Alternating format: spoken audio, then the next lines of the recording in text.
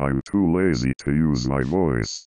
So just deal with the text to speech. A lot of people do YouTube because they want to have fun and enjoy it, but not one particular YouTuber.